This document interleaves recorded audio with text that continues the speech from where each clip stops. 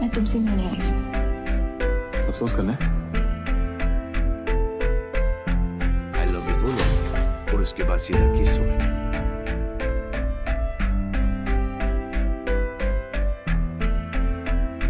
इतनी हेल्प की मेरी।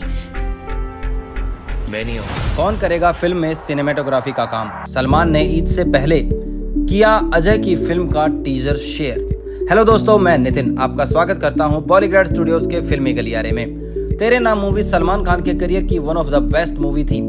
अब मेकर्स ने इस मूवी के सक्सेसफुल होने के बाद तेरे नाम टू की तैयारी कर रहे हैं। तेरे नाम टू मूवी 2023 में देखने को मिल सकती है। वहीं सलमान की एक और फ़िल्म मजधार टू की भी अनाउंसमेंट हो चुकी है और मेकर्स इस मूवी की भी तैयारी में लगे हुए हैं।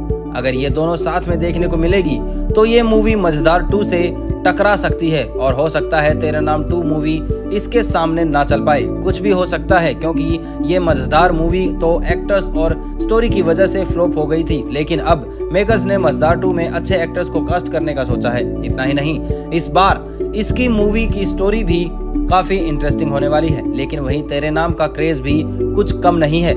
वेल well, कुछ भी हो सकता है। ये तो मूवी रिलीज़ होने के बाद ही पता चलेगा।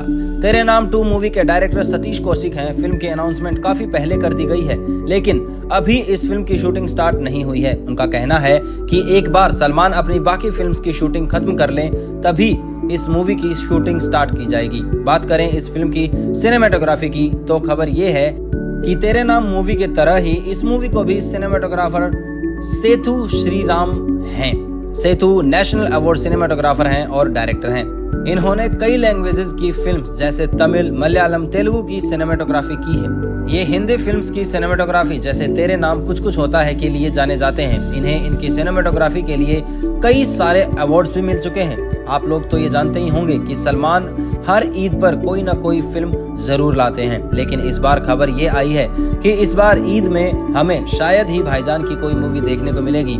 इसलिए सलमान ने इस बार अजय देवगन की मूवी को सपोर्ट किया है, जो ईद के मौके पर रिलीज़ होगी।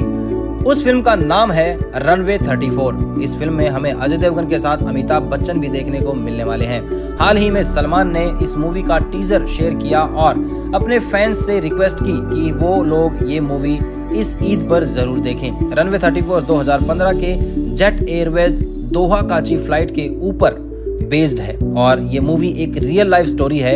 ये मूवी हमें 29 अप्रैल 2022 को देखने को मिलेगी। ये मूवी काफ़ी इंस्पायरिंग होने वाली है। Well we wish the best to each team member and may this movie will be blockbuster if you like it then share it and comment on it and please don't forget to subscribe our Polygrad Studios. Thank you.